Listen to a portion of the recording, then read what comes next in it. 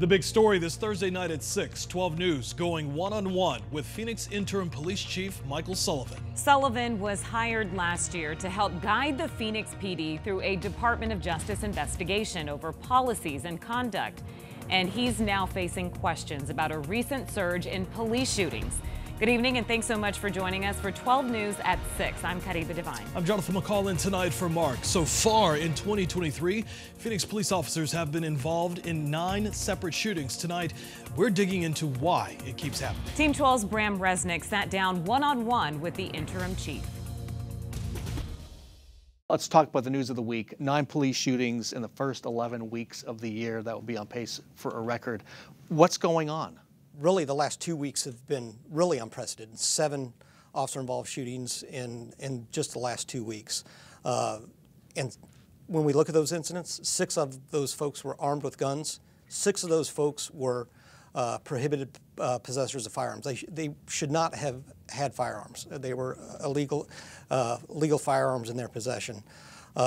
And they actually produced or pointed them at our officers. A new study shows, uh, suggests that one of the reasons we're seeing this is Arizona's lax laws on guns.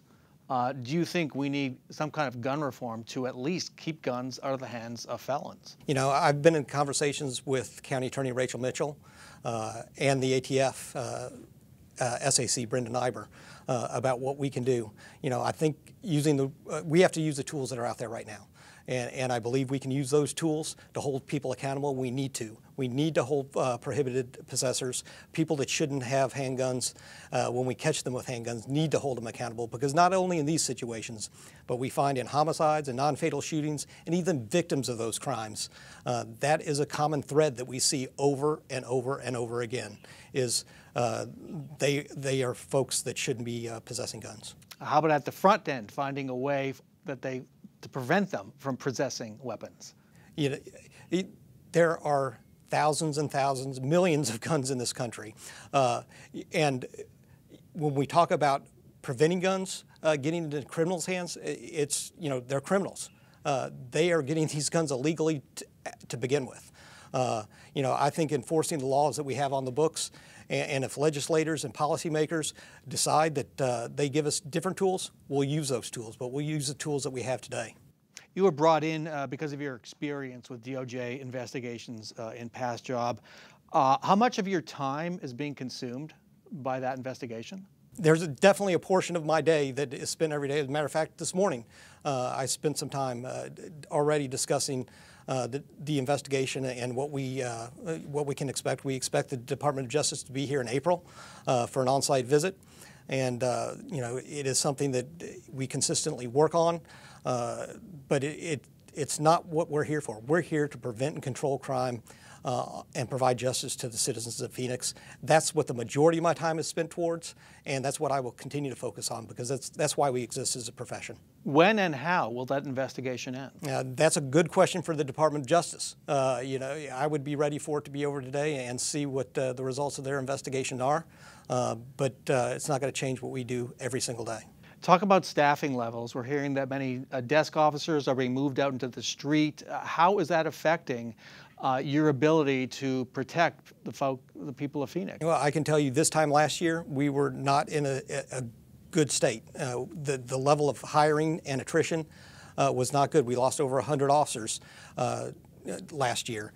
Uh, what we've seen is an increase in hiring in the last several months. We, have hired classes of over 30 officers. Uh, we've seen uh, the, the, staffing level of the department stabilize uh, since, since I've been here for the last seven months. We've seen the classes increase and we've seen attrition uh, decrease. So uh, that's a good thing, uh, but we, we need growth. We truly need growth. You've talked about officers self-assessing their conduct, I think. What's your assessment of the culture of this department? This is an incredible department. Uh, I'm so blessed to be a part of this department. Uh, we, we have to get better every single day. When I talk about self-assessing, I talk about being able to, to, to look and, and, when we do have things that, that don't meet the standard, that we call it that it's not meeting the standard and we fix it uh, going forward. If this were an incredible department, as you say, would you be here right now?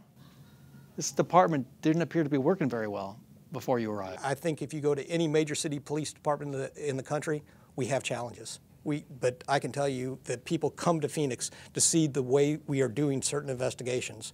Uh, we are held up as a model uh, of the homicide investigations we did. We just went to uh, Miami and Tulsa for some national conferences uh, where they asked the the the, uh, uh, the folks asked us to present what we're doing here in Phoenix. Certainly, anybody can get better, and we're going to work to do whatever we can to get better every single day. And the U.S. Department of Justice investigation of Phoenix PD is now in its 20th month. The DOJ has a long list of questions about police conduct under the previous chief, Jeri Williams. Taxpayers are footing the bill. At last count, the city had spent $1 million to respond to DOJ investigators. So this is far from over. Yeah. All right. It'll Big- be an big- interesting visit. When Yeah, I was going to say some big days coming up in April for the Phoenix PD. Absolutely. All right, Brahm, thank you. Thanks, Brahm.